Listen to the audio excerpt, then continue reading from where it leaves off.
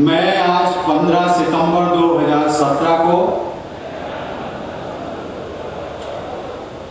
स्वच्छता ही सेवा महाअभियान के शुभारंभ के अवसर पर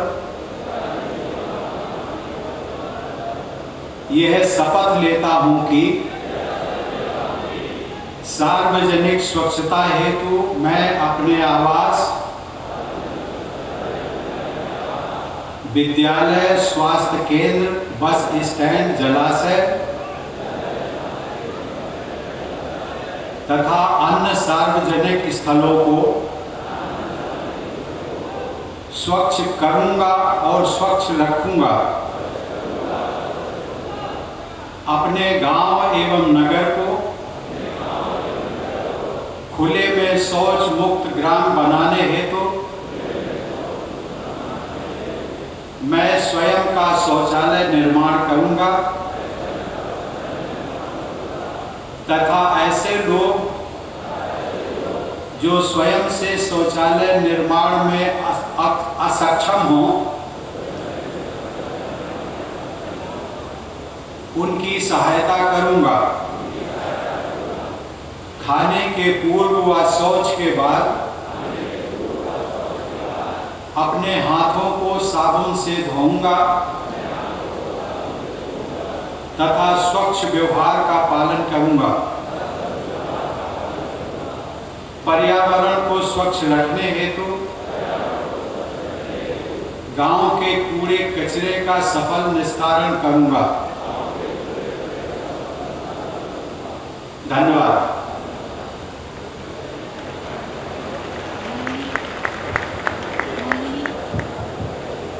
माननीय राष्ट्रपति महोदय से अनुरोध है कि अपने आशीर्वचनों से हमें अनुग्रहित करें।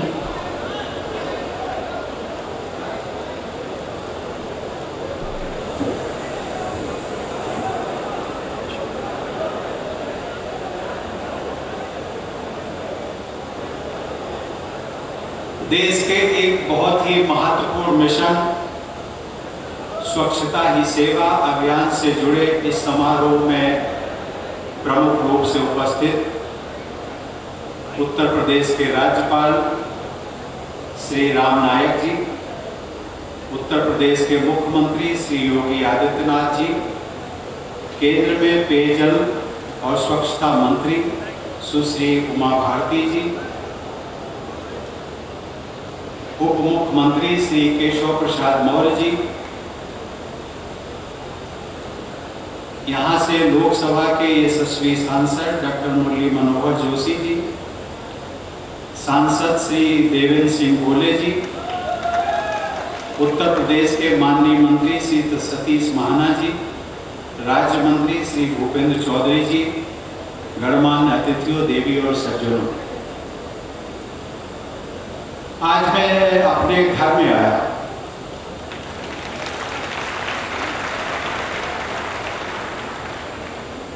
कुछ परंपराएँ रही हैं कि घर का जो व्यक्ति आता है तो घर वाले का भी स्वागत किया जाता है। लेकिन इस स्वागत में मैं मान के चलता हूँ कि आप जो मेरा स्वागत कर रहे हैं, वो रामनाथ कोविंद का नहीं है, बल्कि इस देश के राष्ट्रपति का स्वागत है। और आप सबको भी लगता है कि शायद रामनाथ कोविंद मेरे बीच के थे, मेरे इसी ज़िले के थे वो आज भले राष्ट्रपति भवन में बैठे होंगे, राष्ट्रपति के रूप में, लेकिन मैं भी उनसे कम नहीं हूँ। अर्थात कहीं ना कहीं एक भावनात्मक जुड़ाव। आज हम सबने देखा अपने बीच में जिस अभियान के तहत कर्नाटक, मेघालय, मध्य प्रदेश तथा कानपुर से आए स्वच्छता में उत्कृष्ट कार्य करने वाले स्वयंसेवी और जिनका मैं विशेष रूप से नाम लेना चाहता हूँ, सुलभ इंटरनेशनल के संस्थापक श्री विंदेश्वरी पाठक जी। शायद हम लोग वो पद्मश्री पुरस्कृत है। हम लोग उनके कार्यों से कम परिचित हो गए लेकिन को एक संस्था दी है, सुलभ शौचालय। मुझे लगता है उत्तर प्रदेश में भी, अगर स्टेशन पर भी देखेंगे बस स्टैंड पर भी देखेंगे, हर जगह देखेंगे। तो जो सुलभ शौचालय है, उसके संस्थापक हैं डॉक्टर बिंदेश्वर पाठक जी। वो पूरे देश में सम्मानित है। एक हमारे बीच में भद्र महिला आई थी नैना लाल किदवई जी, जो इंडिया सैनिटेशन कोएलिशन की संस्थापक है। मैं इन सबका अभिनंदन करता हूँ अपनी ओर से, उत्तर प्रदेश की सरकार की ओर से। और विशेषकर एक बच्ची, आपने देखा होगा वो अपने कानपुर की बच्ची मनीषा द्विवेदी। वो जब एनसीसी के कैडेट की यूनिफॉर्म में थी तो मुझे भी रहा नहीं गया कि इस बच्ची से मैं ज़रूर मिलूं। उसको मैंने अपने पास बुलाया। और मित्रों, मैं कह सकता हूँ कि शायद उत्तर प्रदेश का आगे चल करके कौन राष्ट्रपति बनेगा, उपराष्ट्रपति का मुझे पता नहीं है। लेकिन जिसकी मैं कल्पना करता हूँ, राष्ट्र निर्माता की, राष्ट्र निर्माता राष्ट्रपति से भी बड़ा होता है, उपराष्ट्रपति से भी बड़ा होता है, प्रधानमंत्री से भी बड़ा होता है। आप सब लोग जो यहाँ बैठे हैं, या पूरा देश का हर नागरिक जो है वो राष्ट्र निर्माता है। और उस बच्ची में अपार संभावनाएँ हैं। और मैं चाहूँगा उस बच्ची को मेरी बहुत बहुत शुभकामनाएँ और आशीर्वाद। वो बच्ची मुझे मिलेगी कभी राष्ट्रपति भवन आकर के तो मुझे प्रसन्नता हो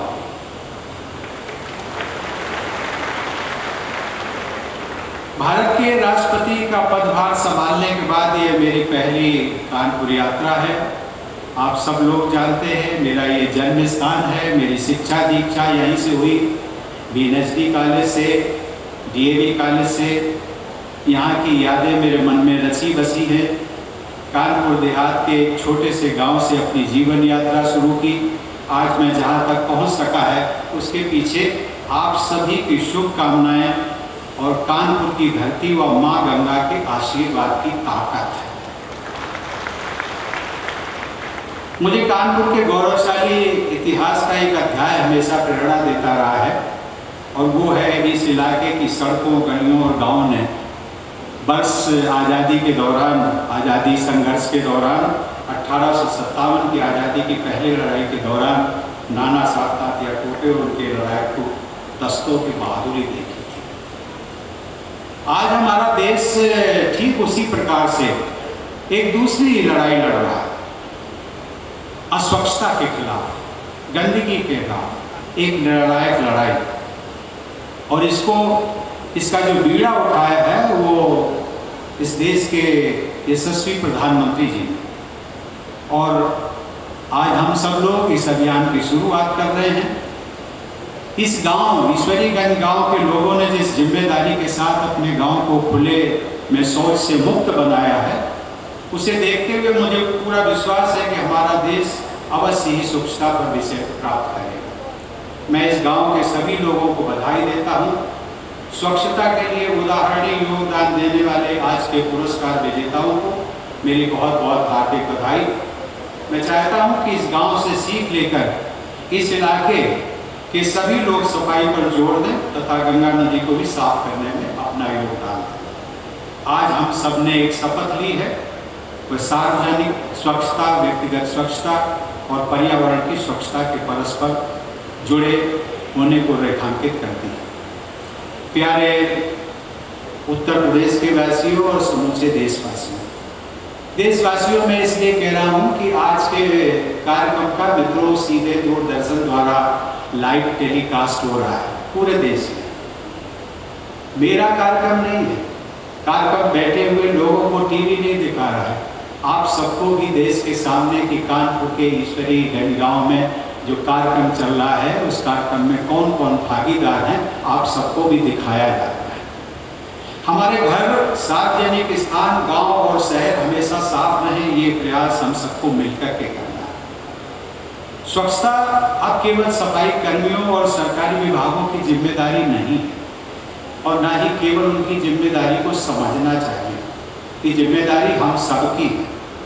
ये बात लगभग सौ साल पहले ने खुद सफ़ाई करते हुए कहा था कि जब तक हम सब अपने हाथ में झाड़ू और बाल्टी नहीं उठाएँगे, तब तक आप अपने गाँव और शहर को साफ़ नहीं कर पाएँगे। ये सन 2014 की गांधी जयंती के दिन से चल रहे स्वच्छ भारत मिशन के सभी लक्ष्यों को प्राप्त करना ही राष्ट्रपिता महात्मा गांधी के प्रति सच्ची श्रद्धांजलि होगी। केवल लक्ष्यों को प्राप्त नहीं करना है बल्कि यह सुनिश्चित करना है कि स्वच्छता की सुविधाओं का स्थायी रूप से इस्तेमाल होता रहे और स्वच्छता की जड़ें मज़बूत होती रहे।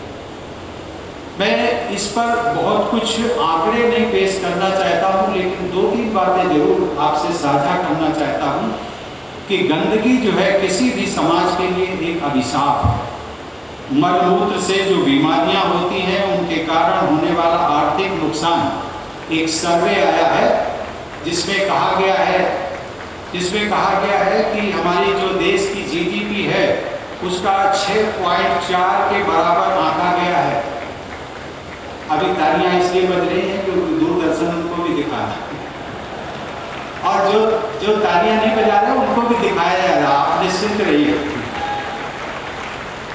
इन बीमारियों से आर्थिक रूप से कमज़ोर लोगों को अधिक परेशानी होती। उनकी कमाने की क्षमता कम हो जाती है।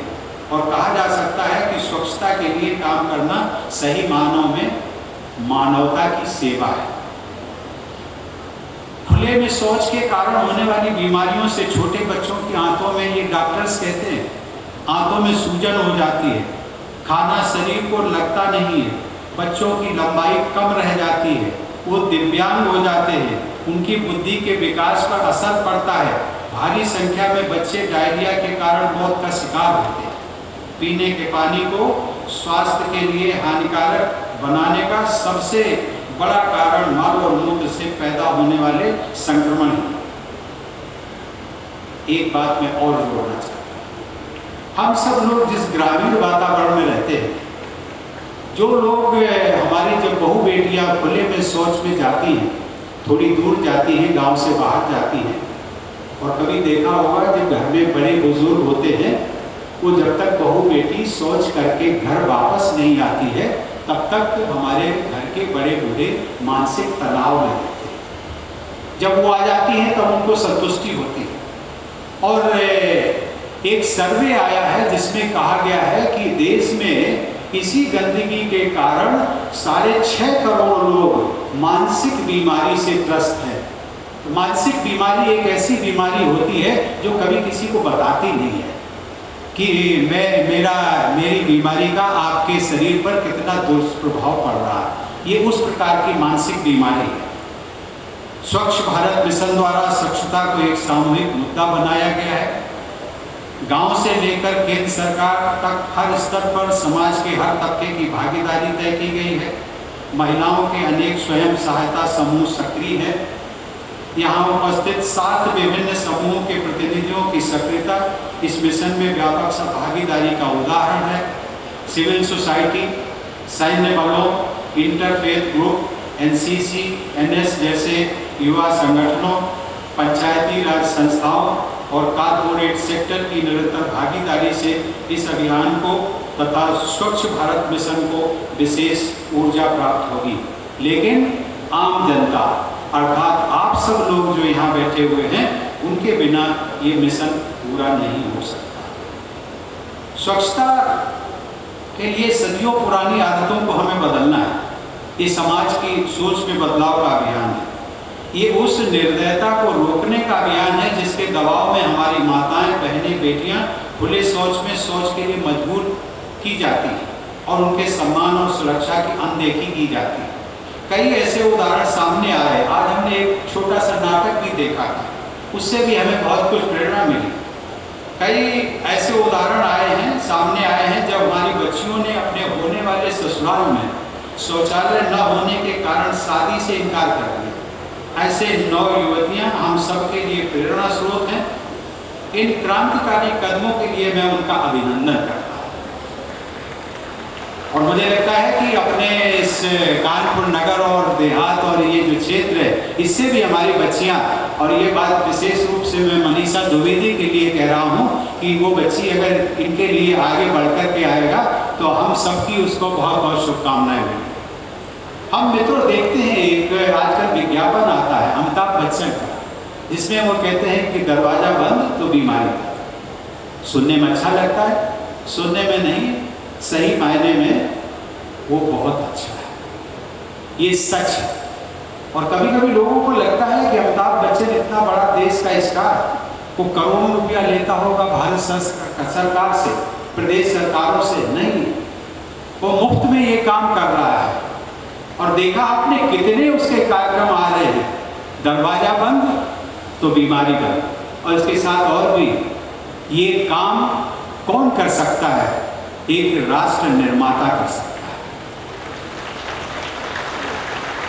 आप सबको मैं उसी श्रेणी में रखता हूँ। अभी मैं देख रहा हूँ इस पांडाल के बाहर जिन लोगों को शायद यहाँ तक पहुँचने का मौका नहीं मिला होगा, वो बाहर खड़े हुए हैं। मैं उनको इस गेट से देख रहा हूँ। तपती धूप में पसीना बहा रहे हैं, लेकिन इस अभियान में उनकी भागीदारी है। वो सुनने के लिए आए हैं।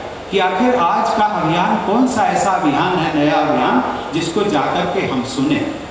वो भी, उनकी भी भूमिका जितनी आपकी भूमिका है, उससे उनकी भूमिका कम नहीं है। वो भी इस महाअभियान और इस राष्ट्र के निर्माता हैं। वो इसी पद पर एक एक, केवल स्तर का फ़र्क हो सकता है, डिग्री का फ़र्क हो सकता है। लेकिन मैं चाहता हूँ कि पूरा देश राष्ट्र निर्माता राष्ट्रपति तो एक होता है लेकिन इस देश का हर नागरिक राष्ट्र निर्माता है और राष्ट्र निर्माता बन सकता है। केवल हमें, केवल और केवल हमें राष्ट्र निर्माण के बोध की ज़रूरत है। यदि बोध होगा कि मैं राष्ट्र हित में काम कर रहा हूँ, शौचालय मुक्त इस अभियान में जुड़ रहा हूँ, अपने यहाँ शौचालय बनाया है ये कोई अपने घर की तरक्की नहीं है, प्रदेश की तरक्की नहीं है। ये राष्ट्र निर्माण का एक बहुत बड़ा संकल्प है, बहुत बड़ा काम है। मित्रों शायद इसकी हम कल्पना नहीं कर सकते हैं कि शायद विदेशों में क्या होता है। मैं अपने देश की बात करूँ, सिक्किम एक ऐसा राज्य सिक्किम। दूसरे राज्यों में अभी प्रतिशत, किसी ने 50 प्रतिशत शौचालय मुक्त हो गए। ओपन में, खुले में। लेकिन बहुत सारे तेज़ी से बढ़ रहे हैं और मुझे उम्मीद है उत्तर प्रदेश पीछे नहीं रहेगा। लेकिन पीछे क्यों नहीं रहेगा, उसमें आपकी ताकत की ज़रूरत है, आपकी ऊर्जा की ज़रूरत है, आपकी भागीदारी की ज़रूरत है। और मैं इसलिए सबको मैं कहना चाहता हूँ कि हम सबको मतदाता तो हैं, वोट डालते हैं।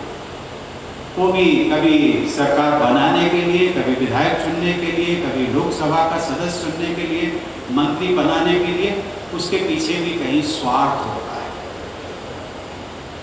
आज हम सब लोग उस स्वार्थ से भी ये बड़ा महायज्ञ है। देश की, देश का भाग्य बदलने वाला ये अभियान है।